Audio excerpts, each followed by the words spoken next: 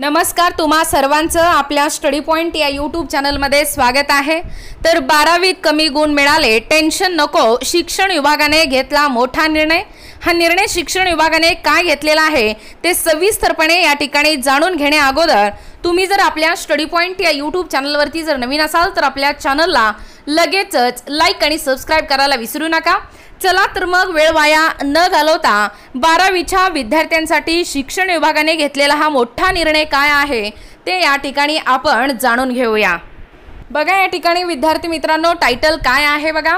बारावीत कमी गुण मिळाले टेन्शन नको शिक्षण विभागाने घेतला मोठा निर्णय. बघा नुकतंच कालच बारावीचा निकाल लागलेला आहे. शिक्षण विभागाने नेमकं मोठा निर्णय घेतलेला काय आहे ते या ठिकाणी आपण पाहूया. बघा महाराष्ट्र बोर्डाचा बारावीचा निकाल जाहीर झाला. राज्यात यंदाही मुलींनी बाजी मारली आहे.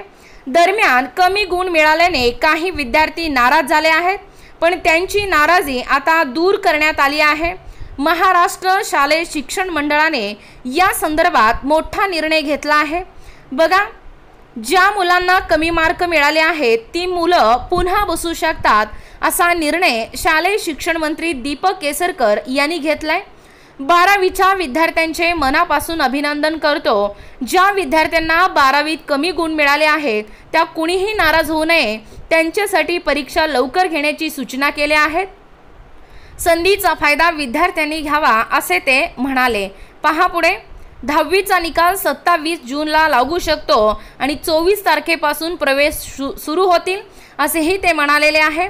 शालेय शिक्षण विभागाच्या निर्णयानुसार जी मुलं बारावीत पास झाले परंतु ज्यांना कमी मार्क मिळाले आहेत ती मुलंही पुन्हा बारावीच्या परीक्षेत बसू शकणार आहेत.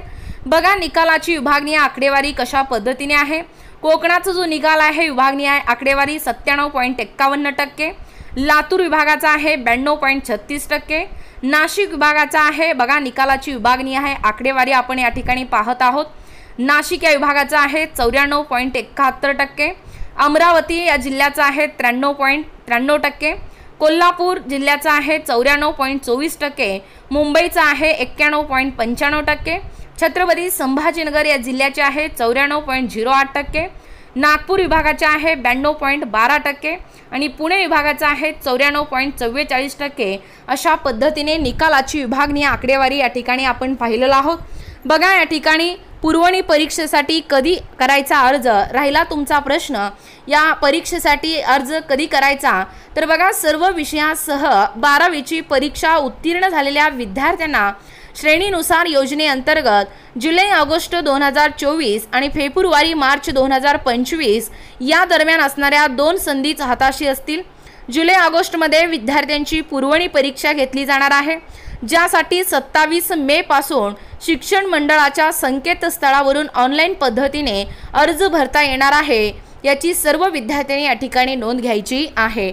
बघा सत्तावीस मेपासून आपल्या शिक्षण मंडळाच्या संकेतस्थळावरती ऑनलाईन पद्धतीने आपल्याला अर्ज भरता येणार आहे.